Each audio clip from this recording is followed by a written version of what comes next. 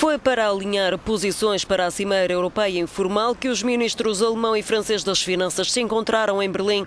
Wolfgang Schäuble recebeu pela primeira vez Pierre Moscovici. Paris e Berlim dizem que é preciso fazer o possível para guardar a Grécia no euro, mas Berlim, cada vez mais isolada sobre a austeridade, tentou minimizar as divergências quanto à política monetária. Wolfgang Schäuble defendeu: não precisamos de discutir, iremos cooperar, pois temos interesse comum no processo de integração europeu, na força da Europa e na sua capacidade de ação.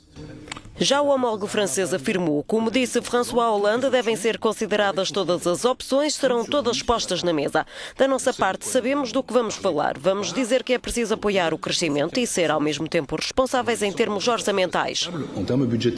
Mas Paris reconhece que não poderá impor aos parceiros as famosas obrigações europeias às quais Berlim se opõe e que deverá ser o grande tema em debate na reunião de quarta-feira em Bruxelas.